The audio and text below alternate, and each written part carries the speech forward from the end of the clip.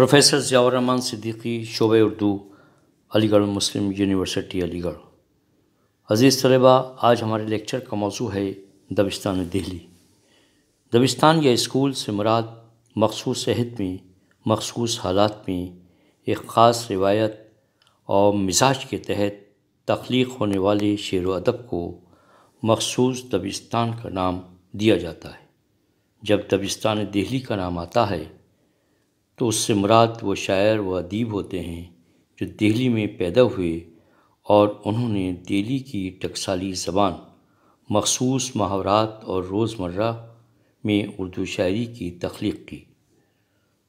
इस शहर की मखसूस रवायात व मिजाज का अपनी तख्लीक़ात में ख्याल रखा।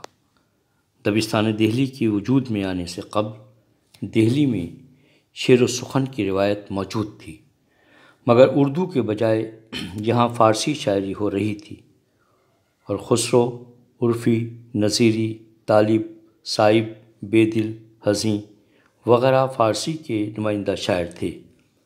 दबिस्तान दिल्ली के दौर अव्वल के शोरा में खान आरसू, आबरू, हातिम, नाजी, मज़हर जाने जाना, ताबा यकरंग मुखलिस वगैरह अहम शरा हैं।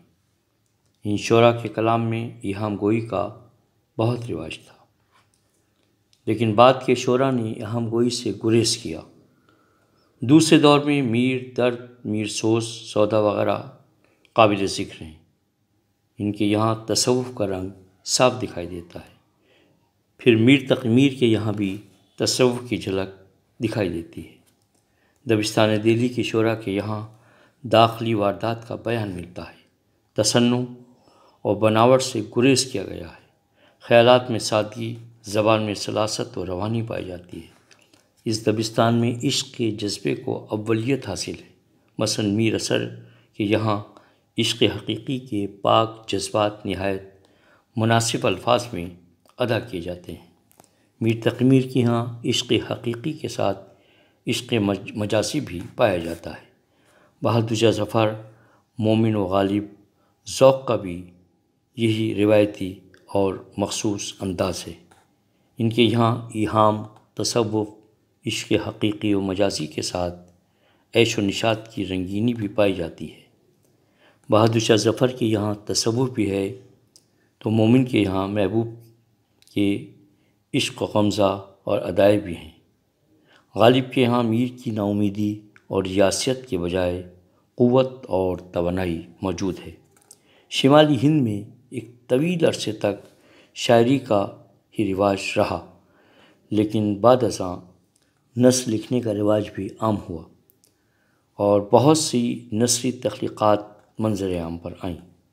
जैसे मीर अता हुसैन की नौतर से मुरस्सा भी दिल्ली ही में लिखी गई, जिसमें दिल्ली की टकसाली ज़बान और रोज़मर्रा के महावरात पाए जाते हैं।